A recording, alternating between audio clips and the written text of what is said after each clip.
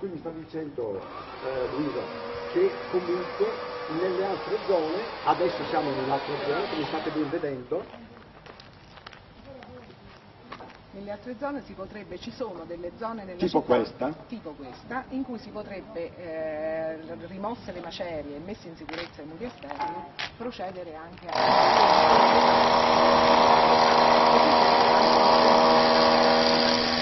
Quindi ci sono delle persone che hanno l'esigenza abitativa di tornare anche nelle case in centro. E, E questo perché non è possibile? Proprio perché, Perché non è stato fatto nessun piano, come dicevi tu, Sì, e esatto. conseguentemente non è essendo... Ecco, per esempio, eh, ehm, inquadrami per cortesia quella casa.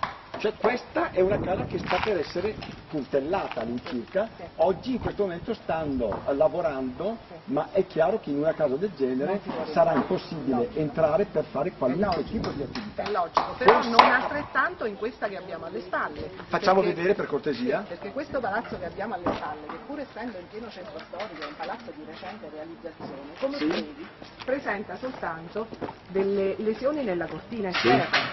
Quindi questo è un palazzo che potrebbe essere completamente riabitato a brevissimo, anche subito.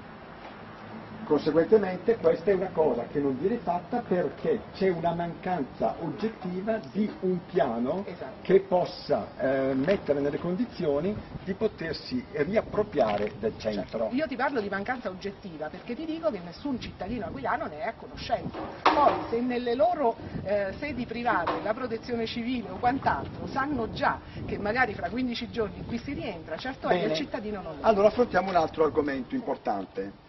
La gente che abita in questa zona, chiamiamola rossa, che è la più devastata, dove ricordiamo che ci sono delle abitazioni di livello A, B e C, cioè nel senso che in questa zona ci sono molte abitazioni che potrebbero essere anche essere ristrutturate con poco e eh, abitate. Benissimo, e nonostante tutto questo non avviene. Allora, nel, eh, mi è stato detto che all'incirca le persone interessate che abitano 20.000, questo all'incirca. Bene, Questa comprende le attività. Le attività. I residenti del centro sono 10.000. più le varie attività diciamo che sono 15.000. Bene, queste 15.000 persone oggi Dove sono? dove sono? Dove qui. vanno? Dove possono andare? Dove sono? Ma chiaramente scusa, non è che riguardi soltanto questo, perché l'altro non è questo, ci stiamo occupando di questo adesso. Dove sono te lo posso dire perché al momento sono tra le Nove, tra la costa o in autonoma circolazione, nel senso che hanno la loro casetta al mare e se ne sono andati lì. Dove andranno? Questa è la grande domanda che se la pongono tutti, perché gli era stato assicurato che alla fine di settembre sarebbero rientrati tutti quanti all'acqua. Apriamo un bel capitolo.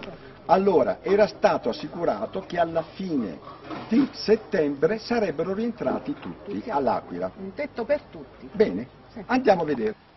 Oh Luisa, come mai questi indumenti che tra un attimo saranno inquadrati non sono ancora stati recuperati dai proprietari? Vediamo, adesso inquadrameli, vieni qua vicino, inquadra.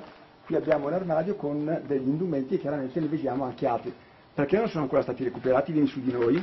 Perché qui purtroppo fino a ieri c'erano le macerie, come vedi c'è ancora una macchina completamente costeggiata che è stata schiacciata da tutti. Conseguentemente non è soltanto la impossibilità di poter andare nei posti perché sono pericolanti, è anche perché dopo cinque mesi le macerie non erano ancora state Ma- rimosse. Mano a mano le stanno